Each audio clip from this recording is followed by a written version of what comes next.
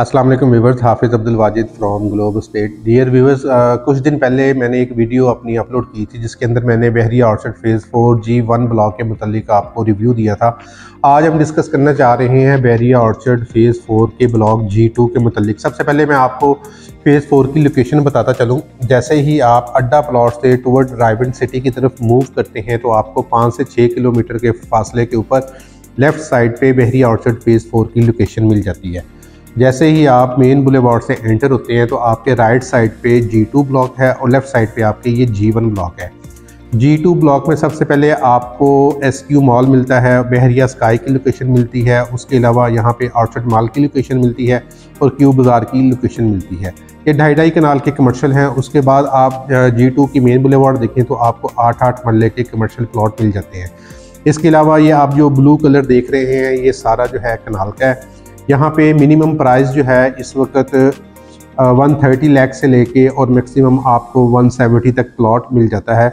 अगर आप back and पे आते हैं तो आपको यहाँ पर वन थर्टी का रेट मिलता है और थोड़ा सा आगे आएँगे तो आपको one forty one forty five का और इस लोकेशन में आपको वन सिक्सटी से वन सेवेंटी तक का रेट मिल जाता है। ये प्लॉट जो हैं, ये विद पोजेशन यूटिलिटी पेड होते हैं। मतलब आल ड्यूज़ क्लियर के साथ प्लॉट सेल होते हैं। उसके अलावा बहुत ही खूबसूरत बहरिया ऑर्चर्ड फ़ेज़ फोर की लोकेशन है, जहाँ पर आपको मस्जिद भी मिल जाती है कमर्शल एरिया जाता है और उसके अलावा यहाँ पर आपको पार्क भी मिल जाते हैं। बैरिया स्कूल भी यहाँ पर अपना बना रहा है।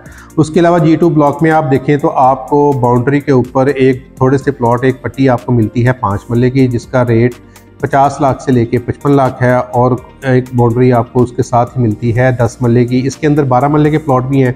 ये आपको मिनिमम जो है कोई सिक्सटी फाइव से लेके और मैक्सिमम सेवेंटी सेवेंटी फाइव तक जो है ये प्लॉट बारह मल के मिल जाते हैं। मैं बात कर रहा हूँ आपके साथ पोजेशन यूटिलिटी यानी आल ड्यूज क्लियर के साथ प्लॉट की। हमारे पास यहाँ पर बेशुमार ऑप्शन जो हैं वो मौजूद हैं फॉर सेल अगर कोई अपने प्लॉट की असेसमेंट भी ले, लेना चाहता है या प्लॉट को बाय करना चाहता है वो ऑन स्क्रीन नंबर पर रबता कर सकता है।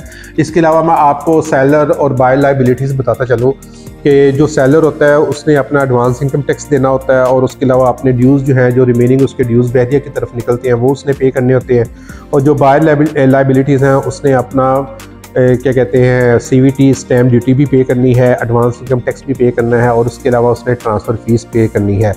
आप जब भी इसका विज़िट करना चाहें साइट विज़िट करना चाहें बहरिया आउटसेट फ़ेज़ फोर की मुकम्मल लोकेशन देखना चाहें तो आप फ़ोन स्क्रीन नंबर पर रबता करें। शुक्रिया, अल्लाह हाफिज़।